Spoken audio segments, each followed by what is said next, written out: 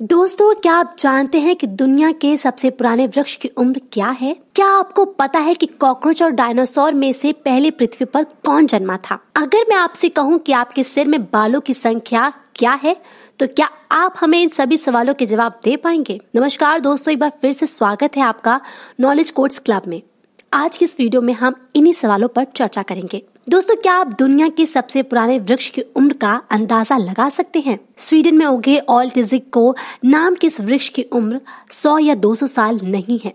बल्कि ये 9500 साल पुराना है और इस वृक्ष को भूमि ज्ञानी कुललमन द्वारा खोजा गया है। क्या आपको पता है कि कॉकरोच और डायनासोर में से पहले पृथ्वी पर कौन जन्मा था? कॉकरोच जो कि हम आम तौर पर अपने घरों में देखते हैं। इनका इतिहास मनुष्य ही नहीं, बल्कि डायनासोर से भी पुराना माना जाता है। कॉकरोच डायनासोर से लगभग 12 करोड़ वर्ष पूर्व पृथ्वी पर जन्मे थे। ये वर्ष कितने अधिक हैं?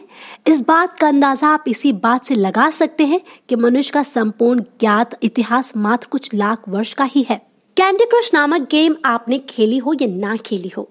लेकिन आपने इसका नाम अवश्य सुना होगा। फेसबुक पर इस गेम के आने वाले निवेदन से लगभग सभी फेसबुक उपयोगकर्ता परेशान रहते हैं। लेकिन आपको ये जानकर हैरानी होगी कि वर्तमान में कैंडी क्रश खेलने वालों की संख्या कनाडा की कुल जनसंख्या से भी ज़्यादा है। क्या आपको चीते की रफ्तार का अंदाज़ा है? चीता के बारे में रोचक यह है कि वह रफ्तार बहुत तेज़ी से पकड़ता है। अगर वह खड़ा है तो उसकी रफ्तार शून्य है।